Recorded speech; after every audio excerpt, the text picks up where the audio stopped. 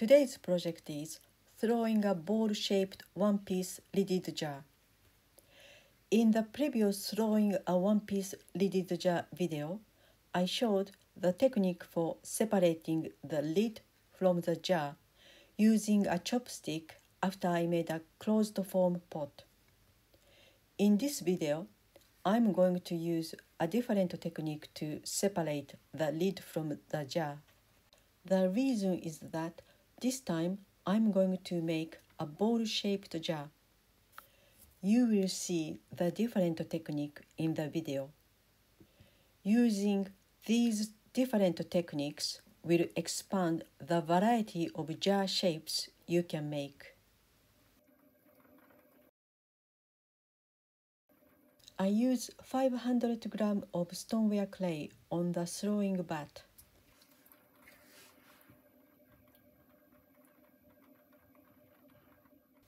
I'm centering the clay.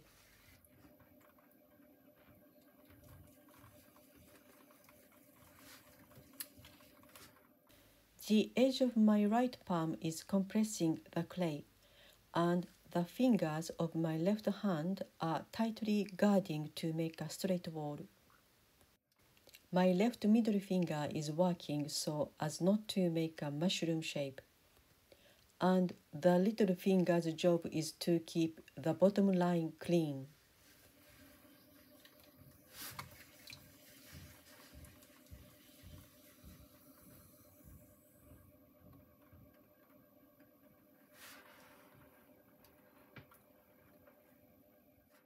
I'm making a center hole. Using my right middle finger to dig in the center, and my left fingers are giving extra pressure. Then I'm opening the hole by sliding my right thumb.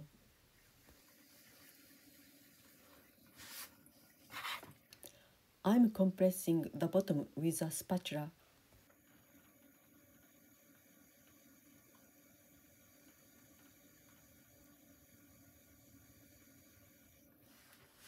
I'm going to make a gentle first stretch.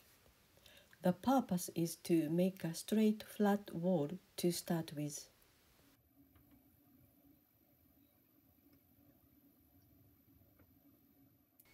I'm compressing the top from three directions. The next stretch. My right ring finger is pushing the bottom in and my middle and index finger are firmly attached on the top. Both thumbs are interlocked to keep my hands shaped in a single form. My left middle and ring fingers are opposite my right fingers, but slightly higher.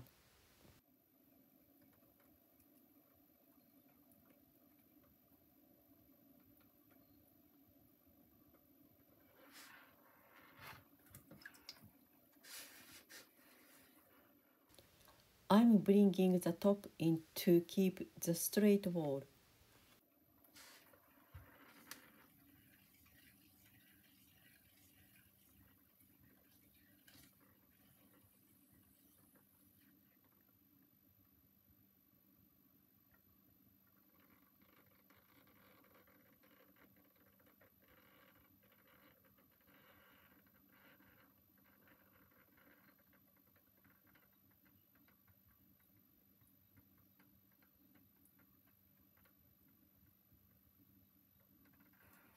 I'm going to close the cylinder. I start one third down from the top. My hands are in diamond shape. When I start to close the cylinder, the edge clay becomes thicker and buckled, so I need to smooth and stretch the edge. I need to repeat the same process to keep the wall a good even thickness.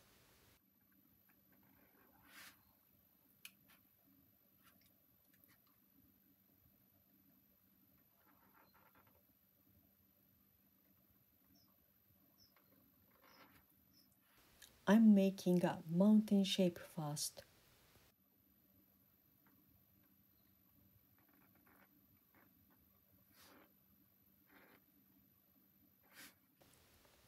At this point, if I try to make a dome shape to reach my final image, the top will collapse easily. I can manipulate the shape later once the top is closed. I'm slowly pushing with my right index finger and my left middle finger is supporting the wall so it doesn't collapse. Now the hole is closed, I can start to shape. I want to make a round bowl-shaped jar. I still make the initial shape as a straight wall jar. If I make a round belly cylinder, then close the top, it will end up in a slightly squashed bowl shape.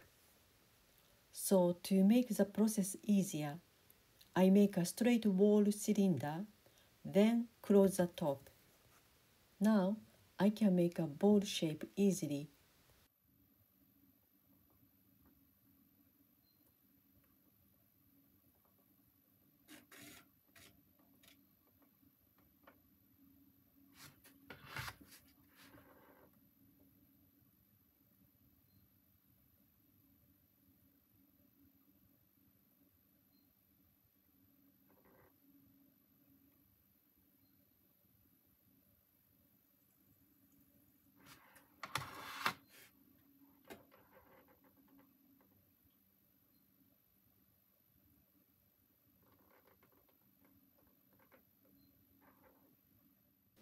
I'm making a small knob. Sometimes I don't make a knob, just round the top, then make a hole for a string to come out.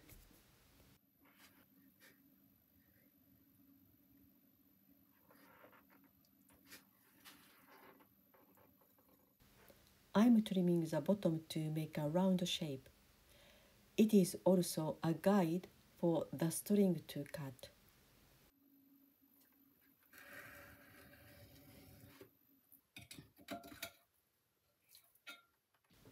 I need to open a small hole for the air ventilation. When the clay starts to dry, it shrinks, and if the air trapped inside doesn't have an exit, the bowl will crack.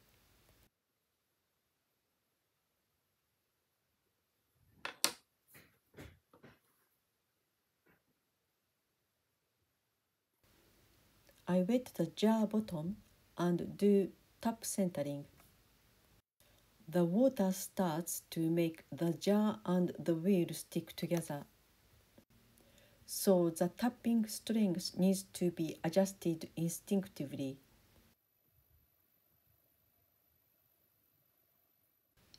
I'm marking the cutting line.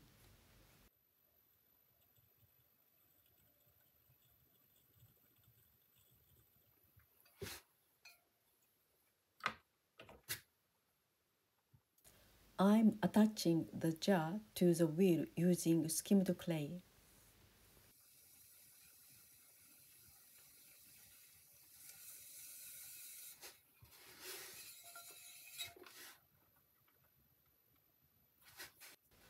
The angle of the needle is 45 degree. With this angle, I can leave enough clay to reshape for the both parts. Both my arms are heavily anchored to the wheel tray. You can see my left hand is holding my right wrist firmly to keep a steady position. My right middle finger is attached to the needle and the jar at the same time.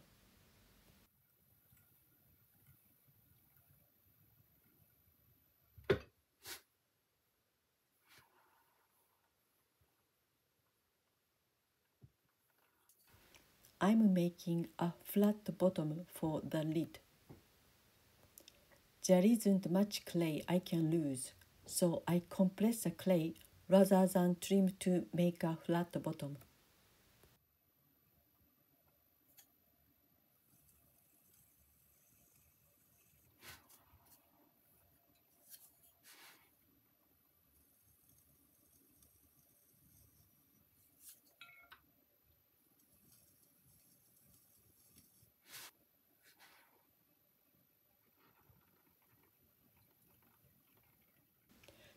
The inside still has a good amount of clay, so I'm trimming the surface.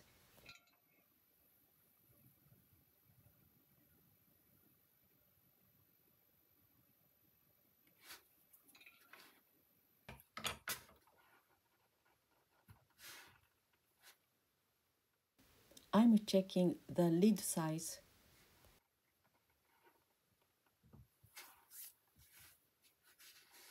I'm going to recess the jar edge. The corner of the cut edge is thin, so I'm compressing the edge with my fingers. My fingers feel the condition of the clay better, so I can sense how much pressure I should give to the clay.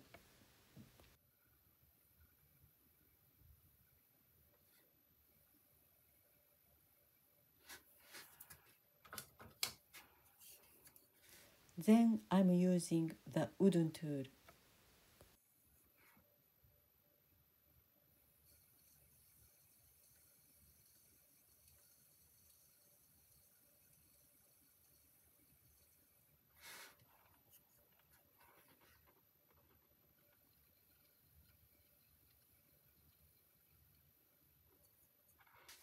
Now I need to bring the rim slightly in. When I trim the lid edge later, the lid will be slightly smaller to fit this circle. So I compress the rim very slightly inwards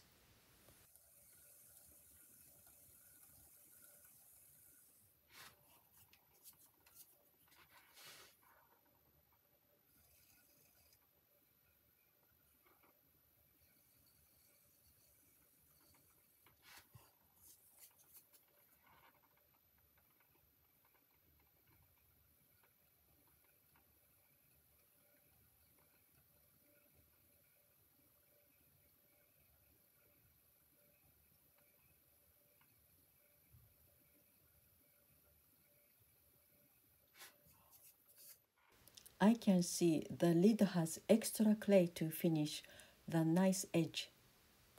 I'm going to trim the jar with a loop tool. This one has round wire, so it will polish the surface at the same time.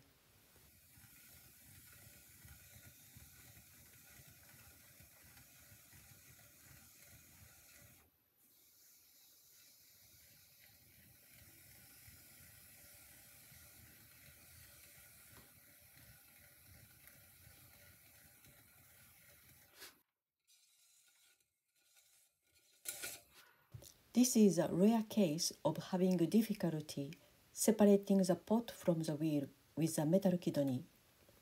Usually it comes off easily, but I may have used too much water this time, so the center part of the bottom has stuck to the wheel. Okay, plan B.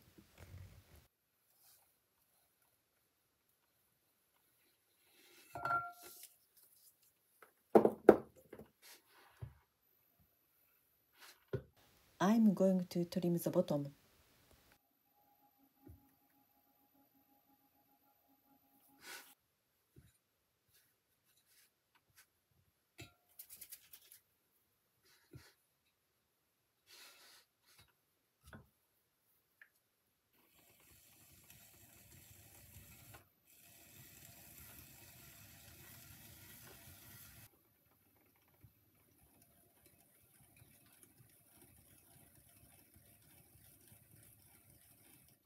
I will finish the jar without a foot ring, so I compress and polish the bottom with a metal kidney.